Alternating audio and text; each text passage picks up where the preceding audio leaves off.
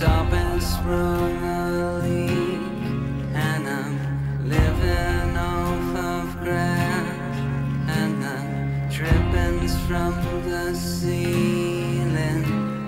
It's okay